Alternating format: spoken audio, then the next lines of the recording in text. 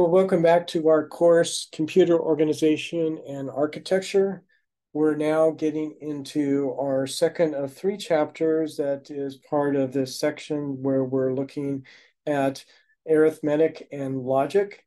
So last time we talked about number systems, we got familiar with um, binary, hexadecimal, and, and the decimal system, and a little bit, but very little focus on thinking about the octal system, which is just um, base seven.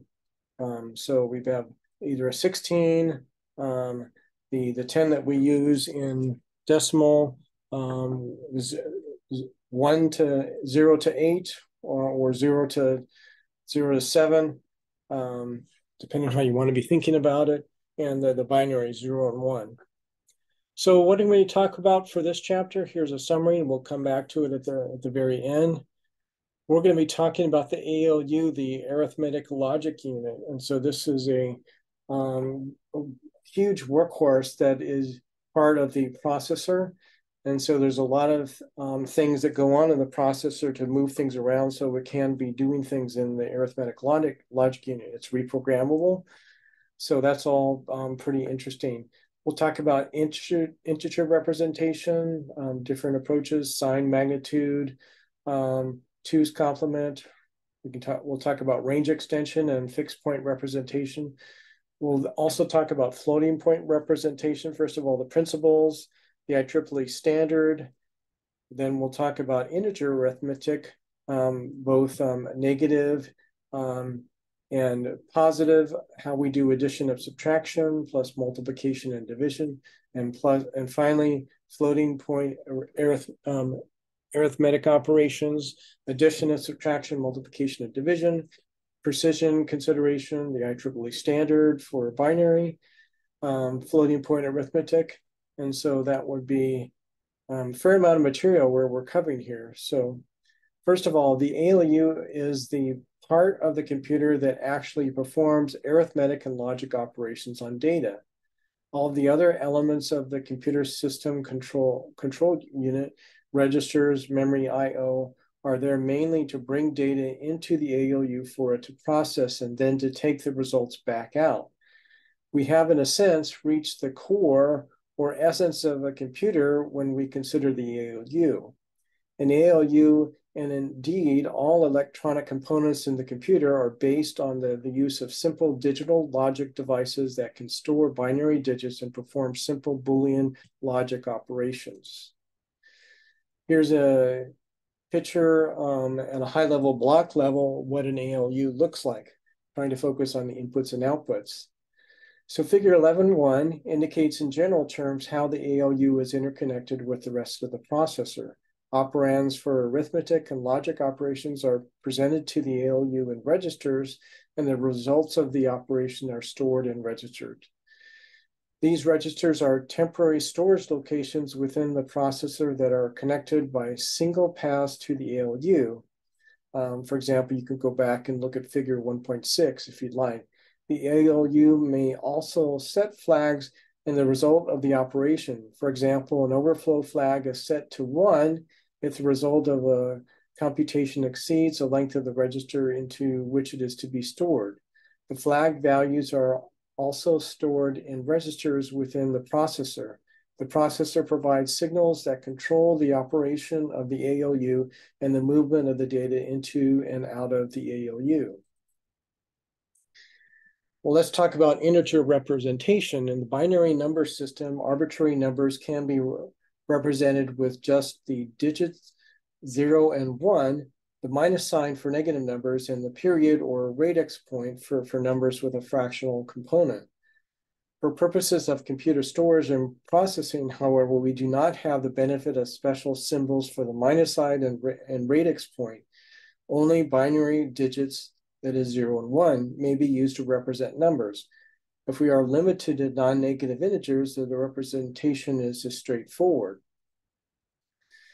There are several alternative conventions used to represent negatives as well as positive integers, all of which have involved treating the, the most significant, that is the leftmost bit in the, the word as the, the sign bit, If the sign bit is zero, the number is positive. If the sign bit is one, the number is negative. The simplest form of representation that employs a sign bit is the sign magnitude representation. In an n-bit word, the, the rightmost n minus one bit holds the magnitude of the integer. There are several drawbacks to sign magnitude representation. One is that addition and subtraction require a con consideration of both the sign of the number and the relative magnitudes to carry out the required operation. This should become clear in the, the discussion in section 11.3, so you can keep that in mind. Another drawback is that there are two representations for zero. So that might seem a little bit odd. This is inconvenient because it is slightly more difficult to test for zero, that is an operation performed frequently on computers, than it, if, if there were a single representation. Because of these drawbacks, sign magnitude representation is, is, is rarely used in implementing the integer position of the ALU. Instead, the most common scheme is a two's complement representation. So like sign magnitude, two's complement representation uses the most significant bit as a sign bit, making it easy to test whether an integer is positive or negative. It differs from the, the use of the sign magnitude representation and the way that the other bits are interpreted. Table 11.1 that we're showing here highlights key characteristics of the two's complement representation in, in arithmetic, which are elaborated in the, in this section and the next. Most treatments of two's complement representation focuses on the rules for producing negative numbers with no, no formal proof that the scheme is valid. Instead, our presentation of two's complement integers in this section and section 11.3 is based on one of the references that is given in the textbook. So we have the, the proofs from, from that source which suggests that the two's complement representation is best understood by defining it in terms of a weighted sum of bits, as we did previously for unsigned and signed magnitude representation. The advantage of this treatment is that it does not leave any lingering doubt that the rules for arithmetic operation in two's complement notation may not work for some special cases. Here we have a table um, that is uh, 11.2 that compares the, the sign magnitude and two's complement represent, representation for four bit integers.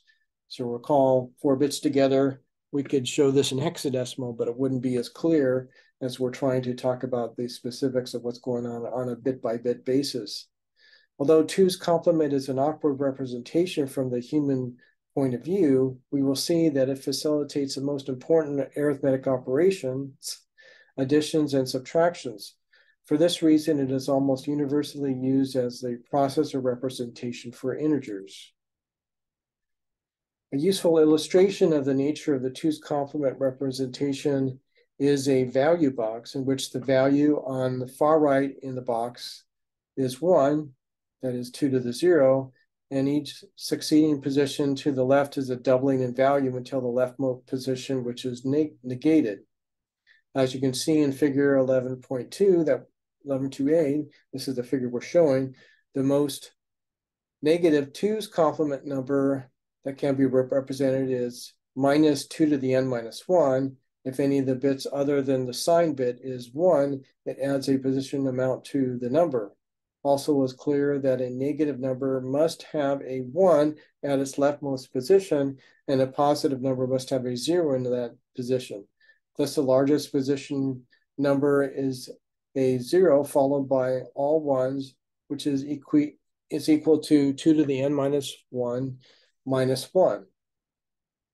The rest of the figure that we're showing illustrates the use of the value box to convert from 2's complement to decimal and from decimal to the 2's complement. It is sometimes desirable to take an n-bit integer and store it in m bits where m is greater than n. This expansion of bit lengths is referred to as range extension because the range of numbers that can be represented is extended by increasing the bit length. In sign magnitude notation, this is e easily accomplished. Um, all you have to do is simply move the, the sign bit to the new leftmost position and fill in with zeros. This procedure will not work for two's complement negative integers. Instead, the rule for two's complement integers is to move the sign bit to the, the new leftmost position and fill in with copies of the sign bit. For positive numbers, fill in, in with zeros, and for negative numbers, fill it in with ones. This is called sign extension. Finally, we mentioned that the representation discussed in, in this section are sometimes referred to as fixed points, fixed point. This is because the radix position, binary position is fixed and is assumed to be to the right of the, the rightmost digit. The programmer can use the, the same representation for binary fractions by scaling the number so that the binary point is implicitly positioned at some other location. In sign magnitude representation, the rule for forming the negative, the negation of an integer is simple. Invert the sign bit. In two's complement notation, the negation of the integer can be formed with the following rules. Take the Boolean complement of each bit in the integer, including the sign bit, that is, set each 1 to 0 and each 0 to 1, treating the result as an unsigned binary integer at 1. This two-step process is referred to as the two's complement op operation or the taking of the two's complement of an integer. As expected, the negative of the of the negative of that number is itself. There is a carry out of the, the most significant bit position, which is ignored. The result is that the, the, the negation of a zero is zero, as it should be. The second special case is more of a problem. If we take the, the negation of the, the bit pattern of 1 followed by n minus 1 zeros, we get back to the same number. So that's something to, to keep in mind. Addition in 2's complement is illustrated in figure 11.3, which we're showing here. Uh, addition proceeds as if the two numbers were unsigned integers. The first four examples illustrate successful operations. If the result of the operation is positive, we get a positive number in two's complement form, which is the same as an unsigned integer form. If the result of the operation is negative, we get a negative number in two's complement form. Note that in some instances, there is a carry bit beyond the end of the word, uh, in the which indicate indicated by shading, which is is ignored. So keep that in mind. We're not going to go through the details of these calculations, but I think if you want, you can just pause the video and I think you can see that these are um, straightforward to, to see how that works. On any addition, the result may be larger than can be held in the word size being used. This condition is called overflow. When an overflow occurs, the ALU must signal this fact so that no attempt is made to use the result. Figure 11.3e and f show examples of overflow. Note that the overflow can occur whether or not there is a carry. And um, E and F so we, we see um, two examples here in this, this last chart. Continuing on, um, here we have the subtraction rule. To subtract one number, the subtract n from another, the minuend, take the two's complement that is a negation of the subtrahend and add it to the minuend. Thus, subtraction is achieved using addition as illustrated in figure 11.4, which we're showing here. Um, the last two examples demonstrate that the overflow rule still applies. So you can go and pause the video and, and think about that for a little bit if, if you would like. Now let's talk about um, geometric depiction of the two's complement integers. Maybe this will help um, bring it to light for you. Some insight into two's complement addition and subtraction can be gained by looking at it in a geometric de depiction, as we're showing here in figure 11.5. The circle in the upper hand of each part of the figure is formed by selecting the appropriate segment of the number line and joining the endpoints. Note that when the numbers are laid out on a circle, the two's complement of any number is horizontally opposite the number indicated by a dash uh, horizontal line. Starting at any number on the circle, we can add positive k or subtract negative k to the position by moving k positions clockwise, and we can subtract positions k or add negative k from the number by moving k positions counterclockwise. And if an, if an arithmetic operation results in traversing one of the points where the endpoints are joined, an incorrect answer is given. That would result in an overflow. We're showing a four-bit number here on the left for A part of the figure. This is um, conceptually easier for you to get your um, head around it, but this can also be generalized over here up to n bits, bits, and so that's why we're showing both sides of that. So moving on, um, figure 11.6 suggests the, the data paths and hardware elements needed to accomplish addition and subtraction. The central element is a bit adder, which is presented two numbers for addition and pr produces a sum and an overflow indication. The binary adder treats the two's numbers as unsigned integers. A logical representation of an adder is given in chapter 12 so just keep that in mind. We'll, we'll come back to that. For, for addition, the two's numbers are repre represented to the adder from, from two registers, designated in this case as A and B registers. The result may be stored in one of these registers or in a third. The overflow indication is stored in one bit overflow flag. Zero equals no overflow, one equals overflow. For subtraction, these subtrahend B register is passed through a two's complementer so that its two's complement is presented to the adder. Note that figure 11.6 that we're showing only shows the, the, the data pass. Control signals are needed to, to control whether or not the complementer is used, depending on whether the operation is addition or subtraction. So in terms of implementation, you can see there's um, not as much difference between addition and subtraction as you might think. Compared with addition and subtraction, multiplication is a complex operation, whether performed in hardware or software. A wide variety of algorithms have been used in various computers. The purpose of this subsection is to give the reader some feel for the type of approaches typically taken. Begin with a simpler problem of multiplying two unsigned that is, non-negative integers. And then we look at one of the most common techniques for multiplication of numbers in two's complement representation. Figure 11.7 that we have here illustrates the multiplication of an unsigned binary integers as might be carried out using paper and pencil. Several important observations can be made. Multiplication involves the, the generation of partial products, one for each digit in the multiplier. These partial products are then summed to produce a final product.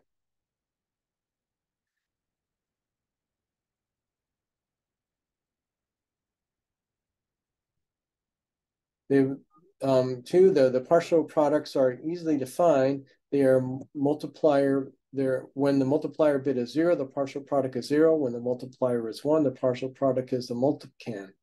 The total product is produced by summing the partial products.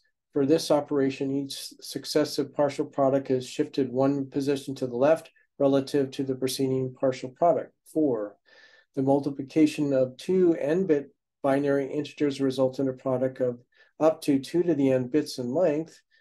For example, if I was to multiply 1, 1 times 1, 1 is equals to 1, 0, 0, 1. Compared with the pencil and paper approach, there are several things we can do to make the computerized multiplication more efficient. First, we can perform a running addition on the, the partial products rather than waiting until the end. This eliminates the, the need for storage of all the partial products. Fewer registers are needed. Second, we can save some time in the generation of partial products for each one on the multiplier and an add and, and a shift operation are, are required, but for each zero operation, only a shift is required. Figure 11.8a shows a possible implementation employing these measures.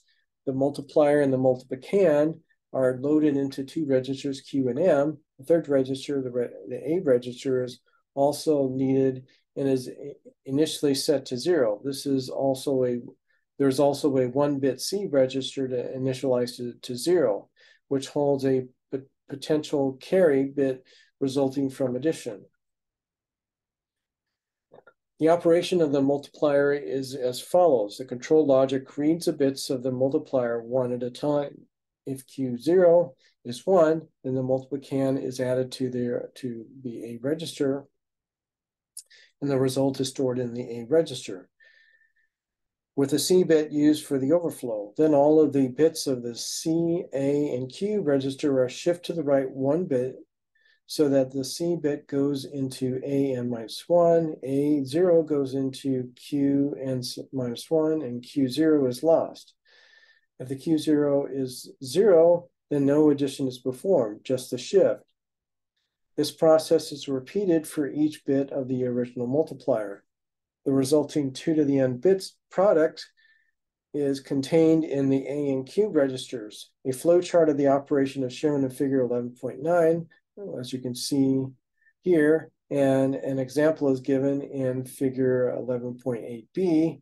We just um, show, um, so you can also keep that in mind. Notice, notice that the, the, sec, the second cycle where the multiplier bit is zero, there is no add operation. Figure 1110, recast 11.7 to make the, the generation of partial products by multiplication explicit. The only difference in figure 1110 is that it recognizes that the partial product shows should be viewed as a 2 to the n bit numbers generated from the nth bit multiplic multiplicand. Thus, and as an unsigned integer, the 4-bit multiplicand 1011 is stored in an 8-bit word as 00001011.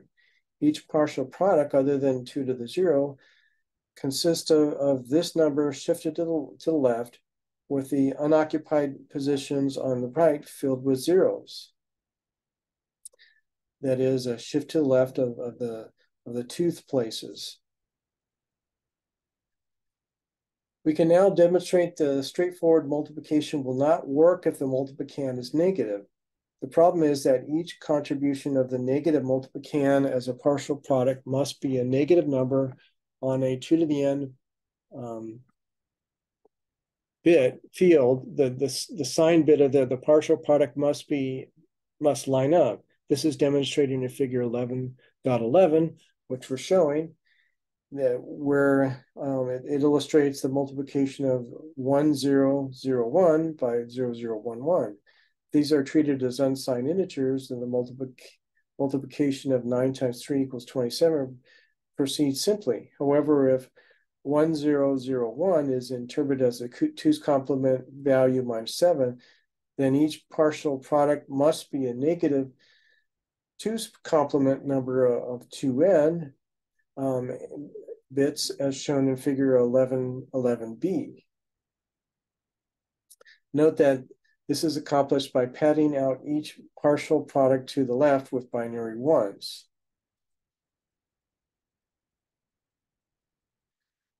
There are a number of ways out of this dilemma. One would be to convert both numbers and multiplicands to positive numbers, perform the multiplication, and then take the two's complement of the result if and only if, if the sign of the, the two original numbers differed. Implementators have preferred to use uh, techniques that do not require this final transformation step. One of the most common of these is Booth's algorithm. This algorithm also has the benefit of speeding up the multiplication process relative to a more straightforward approach. Booth's algorithm is depicted in 1112 in this figure that we're showing and can be described as follows. Before, the, the multiplier and multiplicand are placed in the Q and M registers respectively. There is also a one-bit register placed logically to the right of the, the least significant bit Q0 of the Q register and designated Q1. Its use is explained shortly. The result of the multiplicand will appear in the A and Q registers A and Q minus one are initialized to zero as before. Control logic scans the bits of the multiplier one at a time. Now, as each bit is examined, the, the bit to the right is also examined. If the two, two bits are the same, um, 1 dash 1 or 0 dash 0, then all of the bits of the A, Q, and Q minus 1 registered are shifted to the right one bit. If the, if the two bits differ, then the multiplication is added to or subtracted from the A register, depending on whether the two bits are 0, 1 or 1, 0. Following the addition or subtraction, the right shift occurs. In either case, the, the, the right shift is such that a leftmost bit of a of A, namely A n minus 1, not only is shifted, but A n minus 2 uh, is shifted, namely A n minus 1, not only is shifted into A n minus 1, but also remains in A n minus 1. This is required to prevent the sign of the number in A and Q. Is known as arithmetic, arithmetic shift because it prefer, preserves a sign bit.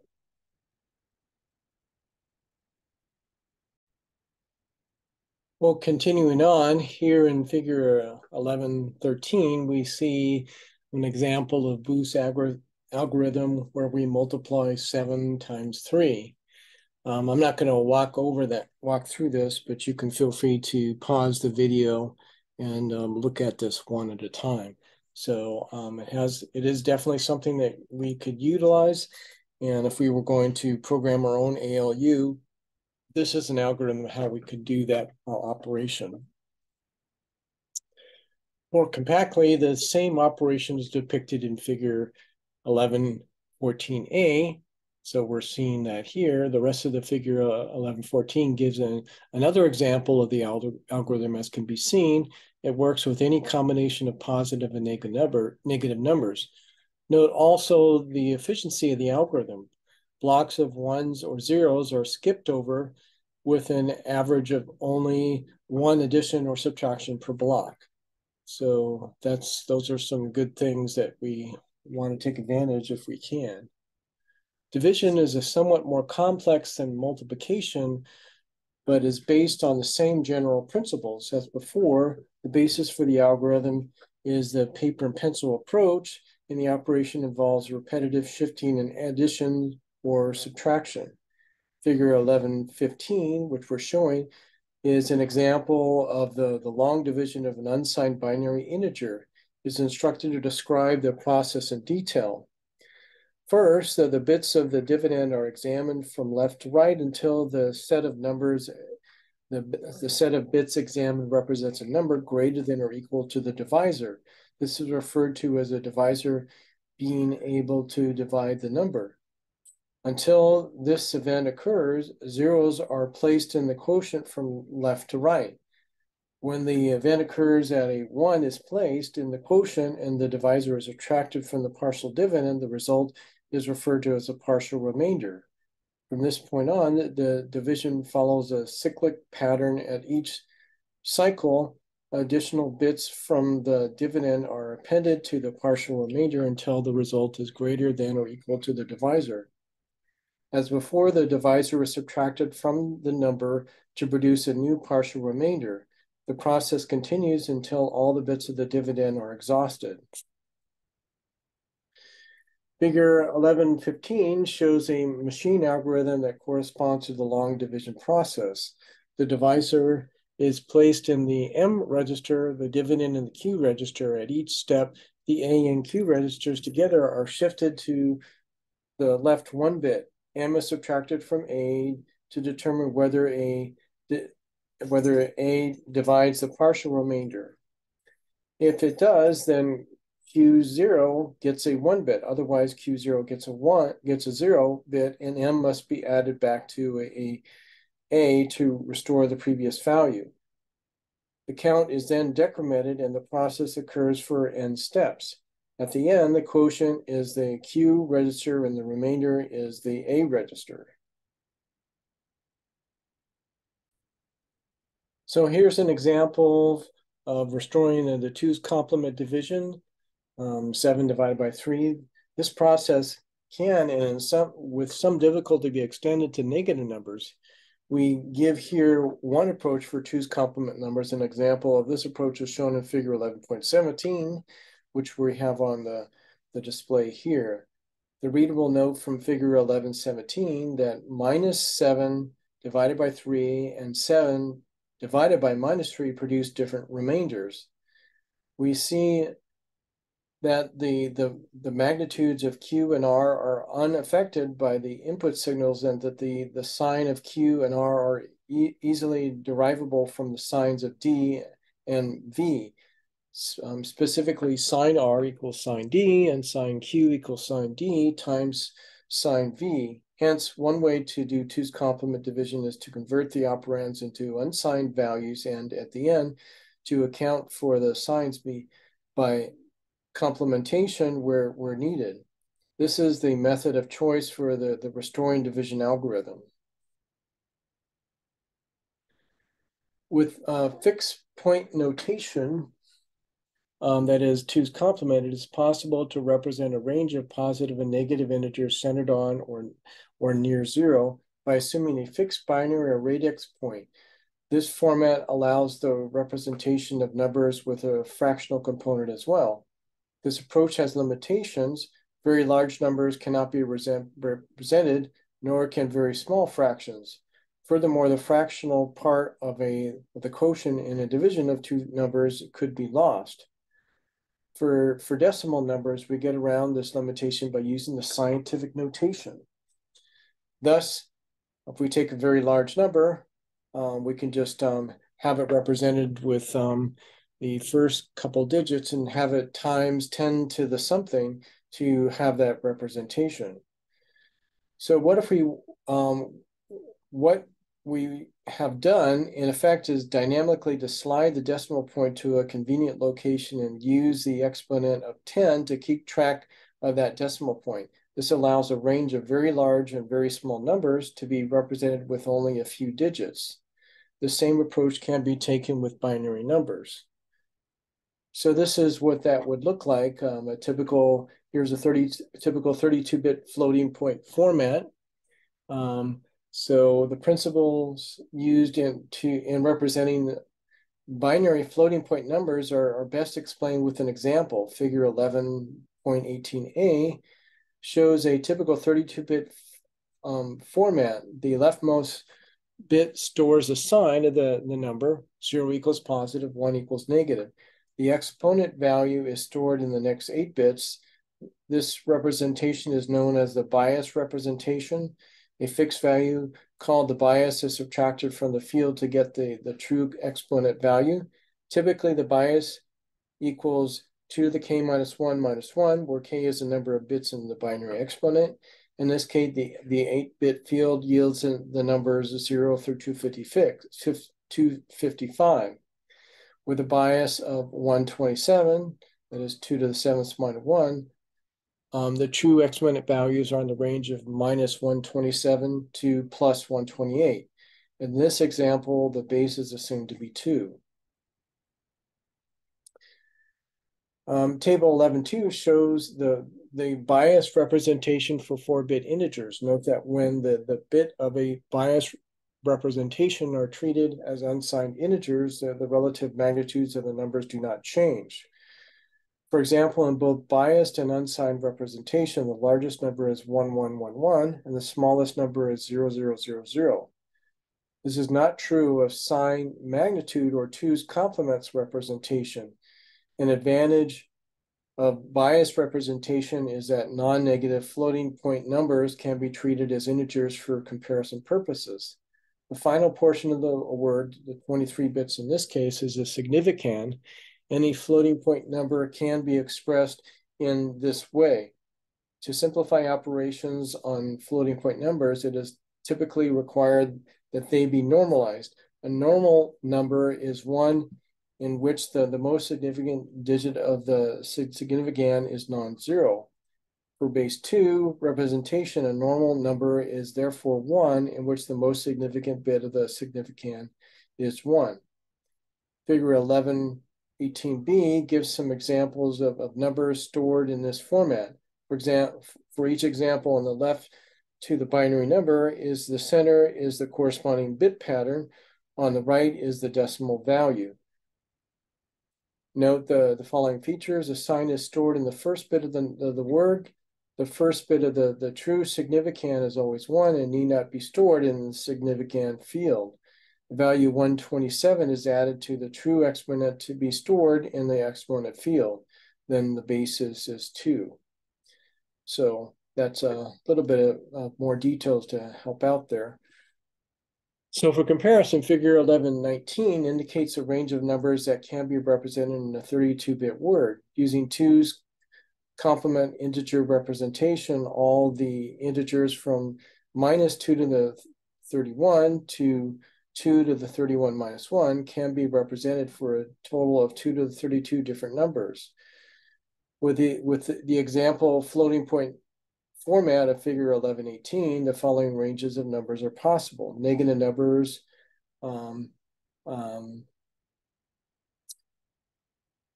so we can see these, these numbers down here. You can um, get a chance to just see those. Um, so just keep that in, in mind. The representations as presented will not accommodate a value of zero, however, as we will see, actual floating point representation includes a special bit pattern to designate zero. Overflow occurs when an arithmetic operation results in an absolute value greater than than can be expressed with an exponent of 1 to the 128. Underflow occurs when the fractional magnitude is too small. Underflow is less serious problem because the result can be generally satisfactorily approximated by zero. It is important to note that we are not representing more individual values with floating point numbers. The maximum number of different values that can be represented with 32 bits is still 2 to the 32. What we have done is to spread those numbers out in two range ranges, one positive and one negative. In practice, most floating point numbers that one would wish to represent are represented only approximately. However, for moderate size integers, the representation is exact. Also note that the numbers represented in floating point notation are not spaced evenly along the number line, as are as are fixed point numbers. The, the possible values get close together near the origin and farther apart as you move away, as shown in figure 1120.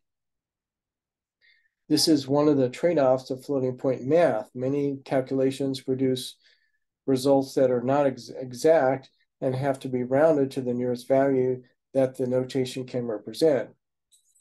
In the type of format depicted in figure 1118, there is a trade-off between range and precision. The, the example shows eight bits devoted to the exponent and 23 to the significand. If we increase the number of bits in the exponent, we expand the range of uh, expressible numbers, but because only a fixed number of different values can be expressed, we now reduce the density of those numbers and therefore the precision. The only way to increase both range and precision is to use more bits. Thus, most computers offer at least significant, at least single precision numbers and double precision numbers. For example, a processor could support a single precision format of 64 bits and a double precision format of 128 bits. So there's a trade-off between the number of bits in the exponent and the number of bits in the significand. But it is even more complicated than that. The, the implied bias of the exponent need not be two. The IBM S390 architecture, for example, used a base of 16. The format consists of a 7-bit exponent and then a 24-bit significand.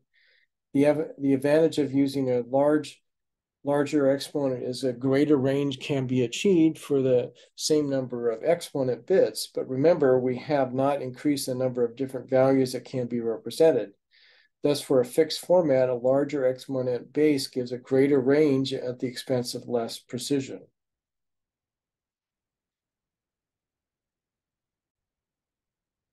The most important, floating point representation is defined in IEEE Standard 740, 754, adopted in 1985. and revised in 2008. Standard was developed to facilitate the portability of programs from one processor to another and to encourage the development of sophisticated numerically oriented programs. The standard has been widely adopted and is used on virtually all contemporary processors and arithmetic coprocessors.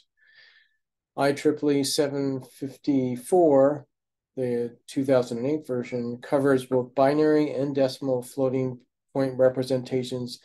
And in this chapter, we will only deal with the binary representations. So this format, IEEE 754, the 2008 version defines a, the, the following different types of floating point formats. The arithmetic format, all the mandatory operations defined by the, the standards are supported by the format. The format may be used to represent floating point operands or results for the operands described in the standard. Then there's the basic format that this format covers five floating point representations, three binary and two decimal, whose encoding are specified by the, the standard and which can be used for arith arithmetic purposes. At um, least one of the basic formats is implemented in any conforming implementation. Finally, there's an interchange format. There's a fully specified fixed length binary encoding that allows data interchange between different platforms and that can be used for storage. The, the three basic binary formats have bit lengths of 32, 64, and 128 bits with exponents of 8, 11, and 15 bits respectively. And so we're seeing those three formats here in this um, figure, so keep that in mind. Um, table 11.3 summarizes the characteristics of the three formats. The two basic decimal formats have bit lengths of 64 and 128 bits. All the basic formats are also arithmetic format types. They um, can be used for arithmetic operations and interchange format types, which is are platform independent. Several other formats are um, specified in the standard. The binary 16 format is only an interchange format and is intended for storage of values when higher precision is not required. The binary K uh, format and the, the decimal K format are interchange formats with a total length of K bits and are defined lengths for the significand and exponent. The format must be a multiple of 32 bits. Thus, formats are defined for K equals 160, 192, and so on. These two families of formats are also arithmetic formats. In addition, the standard defines extend precision formats, which extends a, a, support basic format by providing additional bits in the exponent that is extended range and in the, the significand extended precision. The exact format is, is implementation dependent, but the standard places certain constraints on the, the length of the exponent and significand. These formats are arithmetic format types, but are not interchange format types. The extended formats are to be used for intermediate calculations. With their greater precision, the extended formats lessen the, the, the chance of a final result that has been contaminated by exceeding roundoff error with their, their, their greater range, they also lessen the chance of an intermediate overflow aborting a computation whose final result would have been represent, representable in a basic format. An additional motivation for the extended format is that it affords some of the benefits of larger basic formats without incurring the, the time penalty usually associated with higher precision. Final, finally, the IEEE 754, the 2008 version, defines an extendable precision format as a format with a precision and range that are defined under user control. Again, these formats may be used for intermediate calculations, but the standard place uh, places no constraint on the, the format or length. So here's a couple of tables here. Here's the IEEE formats. It shows the relationship between the defined formats and format types. So I'm not going to go through in details of these. You can feel free to pause the video and, and go over this. Um, not all bit patterns in the IEEE formats are interpreted in the usual way. Instead, some bit patterns are used to represent special values. Table 11.5 indicates the values assigned to the various bit patterns. The exponent values of all zeros, um, zero bits, and all ones, one bits, define special values. The following cases of numbers are represented. For exponent values in the range of 1 through 256 for 32-bit format, 1 through 2046 for 64-bit format, and 1 through 16382, normal non-zero floating point numbers are represented. The exponent is biased so that the range of exponent is minus 126 through plus 127 for the 32-bit format, and so on. A normal number requires a one bit to be left on the to the left of the binary point. This bit is implied given an effective 24-bit, 53-bit, or 113-bit significand. Because one of the, the bits is implied, the corresponding field in the binary format is referred to as a trailing significand field an exponent of, of zero together with a fraction or of zero represents positive or negative zero, depending on the sign bit. As was mentioned, it is useful to have an, an exact value of zero rep represented.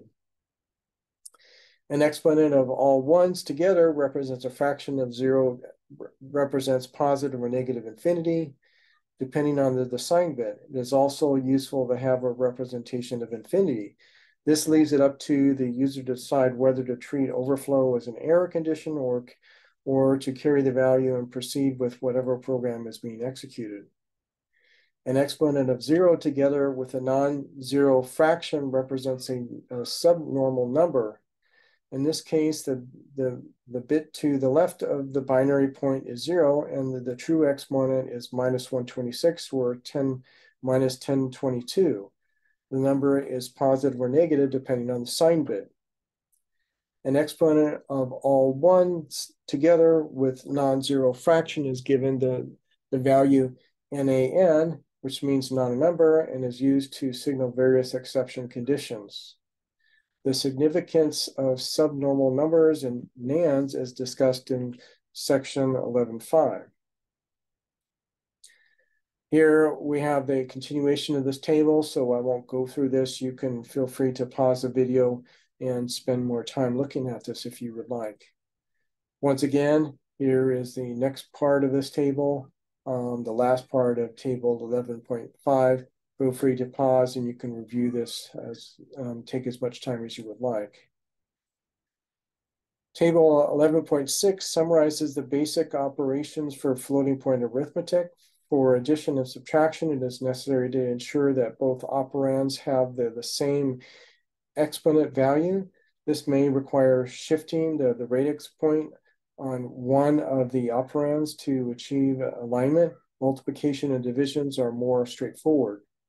A floating point operation may produce one of these conditions, exponent overflow. A positive exponent exceeds the maximum possible exponent value, in some systems, this may be designated as a plus infinity or a minus infinity. Exponent underflow, a negative exponent is less than the minimum possible exponent value. For example, minus 200 is less than minus 127. This means that the number is too small to be represented as may be reported as a zero. Significand overflow, in this process of, of aligning significant digits may flow off the, the right of the end of the significand as we shall dis discuss some form of rounding is required. And finally, significand uh, overflow, the addition of two significands of, of, the same sign may result in the carry out of the most significant bit. This can be fixed by realigning as well as we as will be explained later.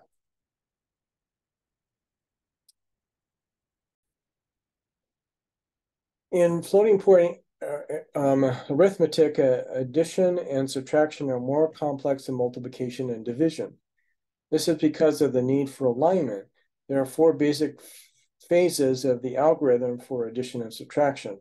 First, check for zeros. Two, align the significance. Three, add or subtract the significance. And four, normalize the result. A typical flow chart is shown in figure 1122 that we're showing. A step-by-step -step narrative highlights the main functions required for floating point addition and subtraction.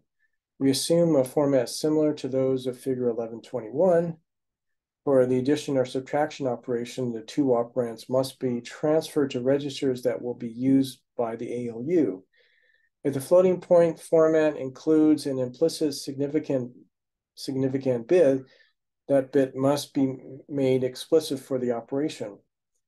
So phase one, um, zero check, because addition and subtraction are identical except for a sign change, the process begins by changing the sign of the sub, sub subtrahend if if if it is a subtractant operation. Next, if either operation is zero, the other is reported as a result. Two, significand alignment. The next phase is to manipulate the numbers so that the twos uh, exponents are equal. Alignment may be achieved by shifting either the smaller number to the right, increasing its exponent, or shifting the larger number to the left. Because either operation may result in the loss of digit, it is, this, it is a smaller number that is shifted. Any digits that are lost are therefore of relatively small significance. The alignment is achieved by repeatedly shifting the magnitude portion of the significand right one digit and incrementing the exponent until the two exponents are equal. Note that if the implied base is 16, a shift of one digit a shift of four bits. This process results in a zero value for the significand. The other operate, op, other number is reported as a result. Thus, if two numbers have exponents that differ significantly, the the lesser number is lost. Phase three, uh, addition. Next, the two significands are added together, taking into account their signs. Because this, the signs may differ, the results may be zero. There is also the possibility of a significand overflow by one digit. If so, the significand of the result is shifted right and the exponent is incremented. An exponent overflow could result as a result. This would be reported and the operation halted. Then phase four, normalization. The final phase normalizes the result. Normalization consists of, of shifting significant digits until the, the most significant digit bit or four bits for base 16 exponent is non-zero. Each shift causes a decrement of the exponent and thus could cause an exponent underflow. Finally, the result must be rounded off and then reported. We defer a discussion of rounding until uh, after a discussion of multiplication and division. Floating point multiplication and division are much simpler processes than addition and subtraction as the following discussion indicates.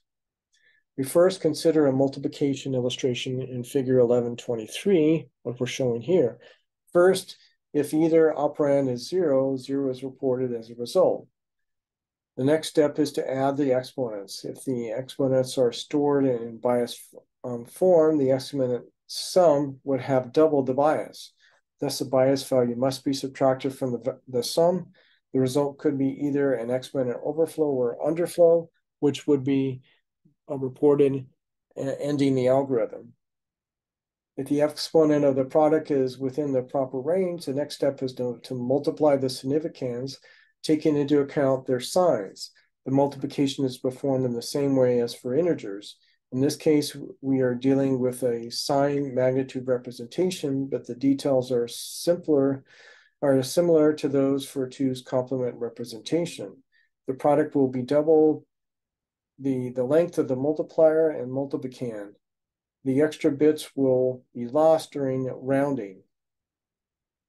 After the product is calculated, the result is then normalized and rounded as was done for addition and subtraction. Note that normalization could result in exponent underflow.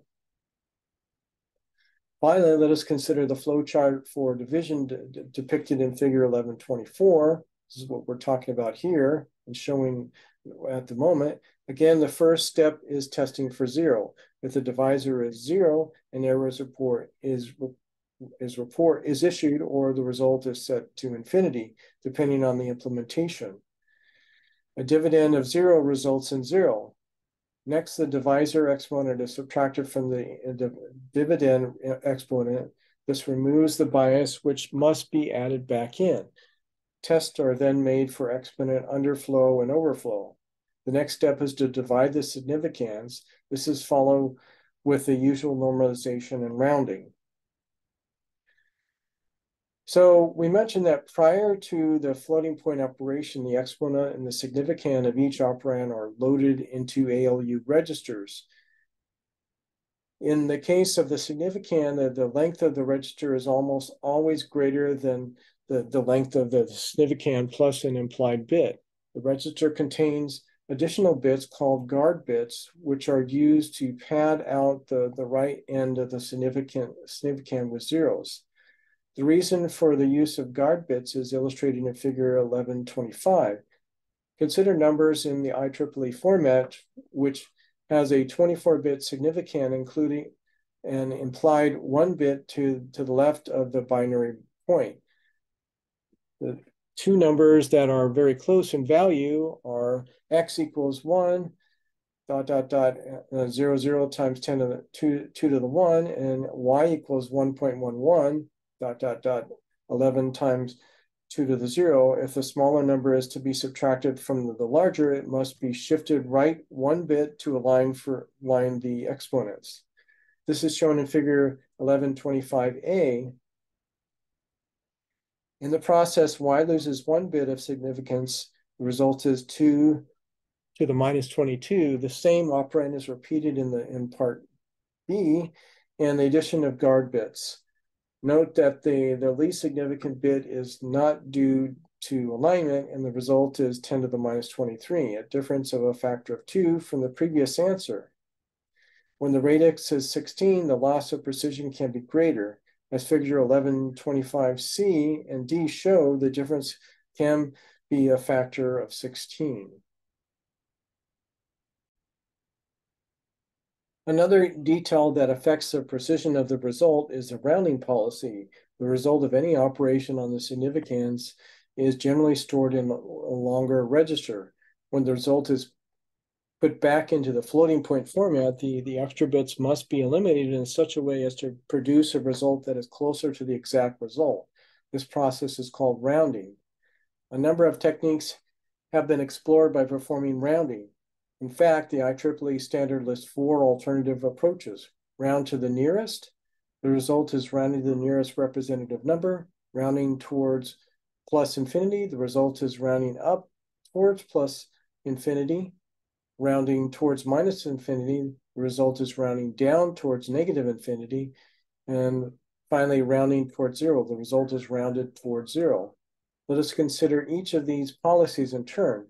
Round to the nearest is the default rounding mode listed in the standard and it is defined as follows. The representative value nearest to the, the infinitely precise res result shall be delivered. The standard also addresses the special case of extra bits of the form 10000 dot dot dot. Here the result is exactly half halfway between the, the two possible representable values. One possible technique here would be to always truncate as this would be the simplest operation. However, the, the difficulty with the, the simple approach is that it introduces a small but cumulative bias into a sequence of computations. What is required is an unbiased method of rounding. One possible approach would be to round up or round down on the, the basis of a random number so that on average, the result would be unbiased. The argument against this approach is that it does not produce predictable deterministic results. The approach taken by the IEEE standard is to force the result to be even. The result of the computation is exactly midway between the two representable numbers, the value is rounded up if the last representable bit is currently one and rounded up if it is currently zero.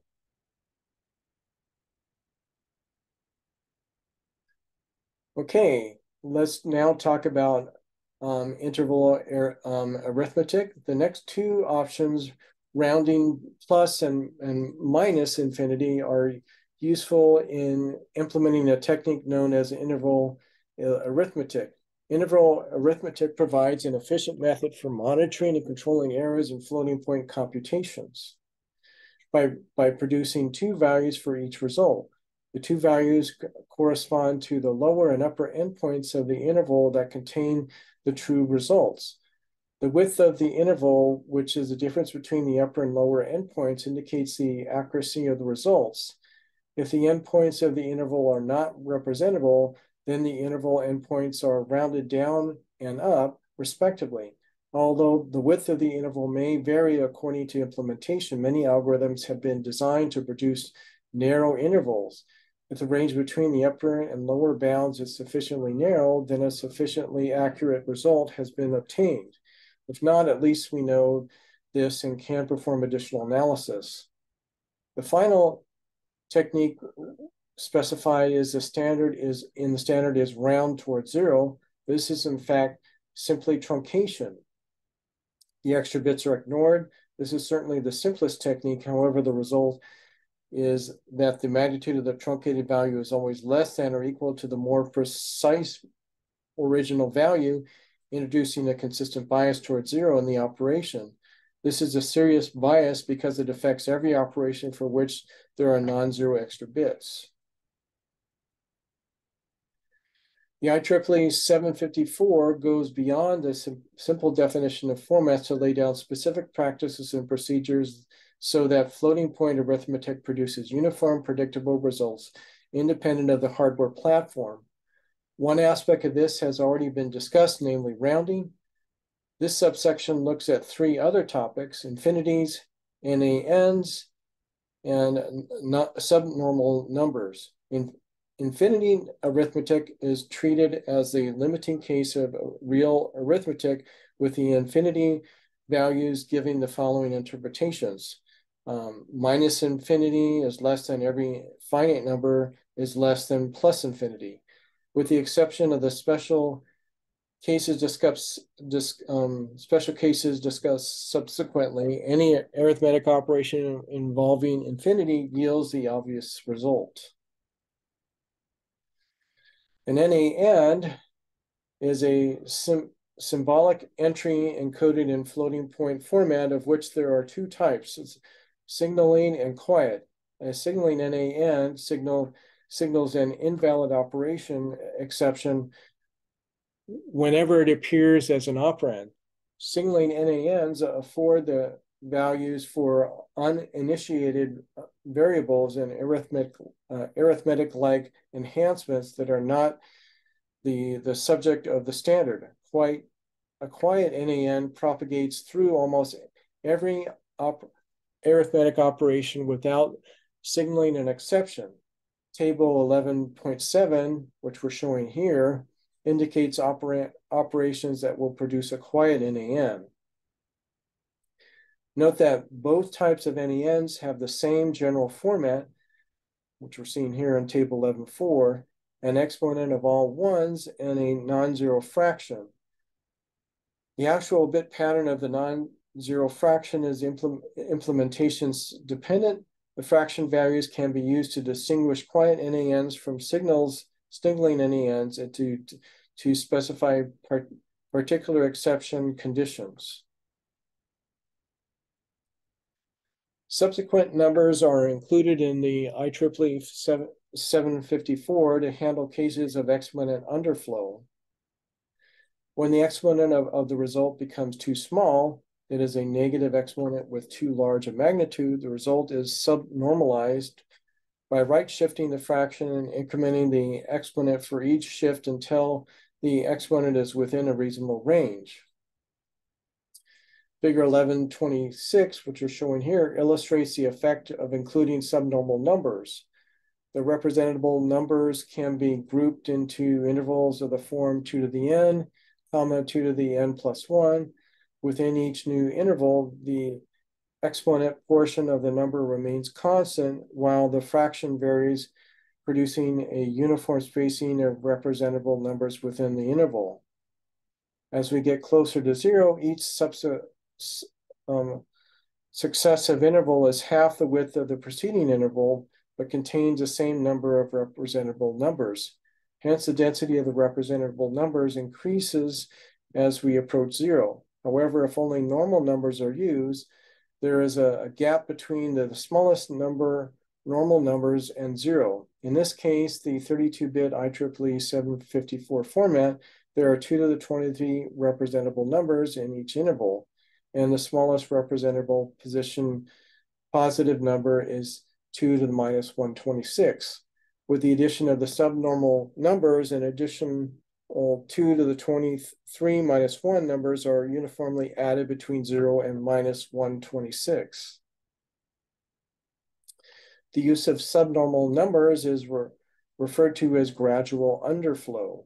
With subnormal numbers, the gap between the smallest representable non-zero number and zero is much wider than the gap between the smallest representable non-zero numbers and the, the next larger numbers. Gradual underflow fills in this gap and reduces the impact of exponent underflow to a level comparable with roundoff among the normal numbers. Well, that finishes what we have for, for this chapter, and I'll just quickly go through this. We talked about the arithmetic logic unit, and um, we had earlier chapters that went over it in um, more detail, but this was in the context of doing um, uh, arithmetic operations. We talked about integer representation, a couple different types, sign magnitude, two's complement. We talked about how we could do range ex extension, and then um, got into fixed point representation. For floating point representation, we talked about the principles, the IEEE standard, which make things um, portable from one system to another, and we talked about a couple, um, we talked about one variant, uh, an update to, to that standard. We talked about integer, um, arithmetic, negation, addition and subtraction, multiplication and division. And then we also talked about floating point uh, um, arithmetic, addition and subtraction, multiplication and division, precision considerations, which comes up um, in a, a lot of different ways that is important to consider. And then we talked about the IEEE standard for binary floating point arithmetic. Okay, well, thank you very much. That'll end what we're going to cover for, for this chapter. Bye-bye.